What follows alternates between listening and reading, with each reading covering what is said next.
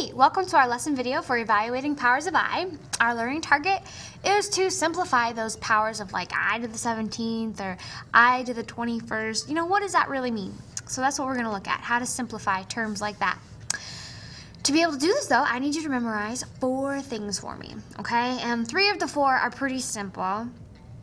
i to the zero, we've learned anything to the zero power, as long as it's not zero itself, is a one anything to the first power isn't going to change. It's going to stay itself. So i to the first would stay i. i squared, we know is a negative 1.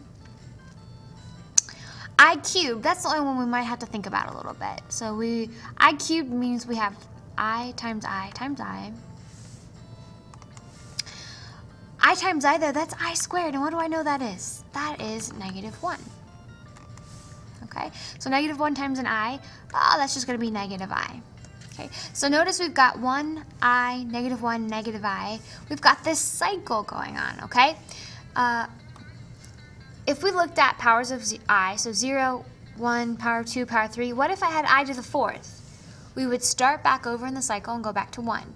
So power 5 would be i, power 6, negative i, or excuse me, negative 1, power 7, negative i. Okay, so we just keep going through the cycle. But what if I gave you i to the 123rd power? Are you really going to sit there and count through the cycle to see where you end up? No, that'd be ridiculous. Okay, so we've got this little trick. So I'm going to look at i to the 17th. Since there are four things in the cycle, what we can do is actually divide 17, the power, by 4, always a 4, because there are four things in the cycle. And the remainder will tell me where we'd end up. So 4 goes in four times, but that doesn't really matter. It's the remainder that I care about. So 17 minus 16, I would have a remainder of 1. Okay, so this would match up to i to the first because of the remainder, and that would just be i. So i to the 17th is really just plain old i. i to the 22nd power. Let's try some other ones. Well, I'm going to divide by 4. So 4 will go in, uh, let's see, 5 times. 5 times 4 is 20. And my remainder would be a 2. So i to the 22nd, I don't care about the 5, I care about the remainder. That tells me where I end in the cycle. I would end at i squared because that's what the remainder was. And if you recall the things you need to memorize, i squared is really negative 1. So uh, that would be my simplified answer. i to the 22nd is really just a negative 1. Let's try another one. Let's take 43. We're going to do the exact same thing. Divide it by a 4. How many times does it go in? Oh, let's see. 10 times, I think you could do the old school long division, or if you can just know in your head, 4 goes in 10 times, and that would be at 40, and I have a remainder of 3. So since my remainder is 3, I can say that i to the 43rd is equivalent to i cubed, which is really just negative i based on those four things we need to memorize. Okay, so pretty cool. But what if I has a negative power? You know, do I just divide 4 by, or divide this negative 13 by a 4? Ugh, it doesn't quite work that way. Remember, property of exponents. Negative exponents mean to flip. So let me write that over here. Flip. Okay, so what's happening is this i needs to shoot to the bottom. So I really have i to the positive 13 on the bottom, but since there's nothing else on top, we fill it with a 1. Okay. Uh, but let's get rid of that 13. Let's divide it by a 4. How many times does it go in? Well, let's see. 4 goes in the 13, I believe, 3 times. And I get a 12. And when I have a subtract, I have a remainder of 1. Whoop, whoop. So that means i to the 13th is really just an i to the first, which the things we memorized, that's really just an i. But after we just did all that work, dagnabbit, we're still not done. Here's the deal. You are not allowed to have an i at the bottom of a fraction. We've talked about this when we talked about dividing. So, holy cats, how do I get rid of it?